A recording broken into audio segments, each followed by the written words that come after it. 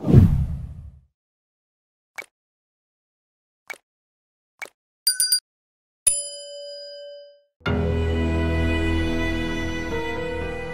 होता है। क्या दिमाग चलता है तुम्हारा?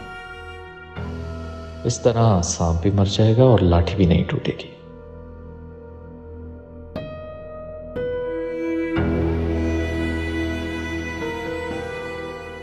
हेलो? हाँ सवेरा हम लोग यहाँ से निकल रहे थे तो मैंने सोचा कि तुम्हें इन्फॉर्म कर दूँ। अरे हाँ बाबा अम्मी और दादी दोनों आ रहे हैं, तुम फ़िक्र नहीं करो। ओके, खुदा हाफिज़।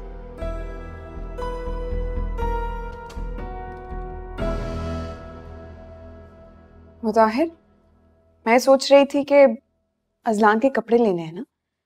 तो आज चले हम और खाना हम बाहर से ही खा के आएँगे। अनिका आज मेरे लिए थोड़ा मुश्किल हो जाएगा। फिर कभी चलते हैं।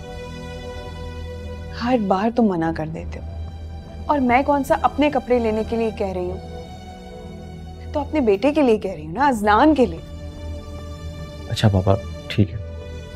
तुम तैयार हो जाओ चलते हैं।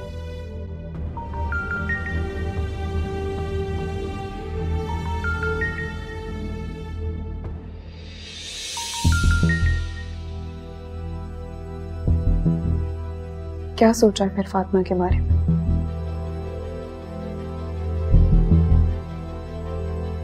क्या मतलब क्या सोचा? मुझे लगता है कि तुम्हें फातिमा के बारे में कोई ना कोई फैसला कर लेना चाहिए। कौन सा फैसला? क्या बात कर रही हो तुम? एक गैरतमंद मर्द कभी भी बर्दाश्त नहीं करेगा कि उसकी बीवी किसी और मर्द के साथ अफेयर चलाए।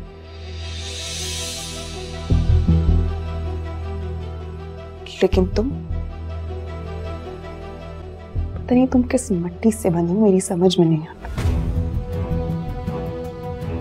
अगर तुम्हारी जगह कोई और मर्द होता ना तो वो कब का फातिमा से जान छुड़ा चुका?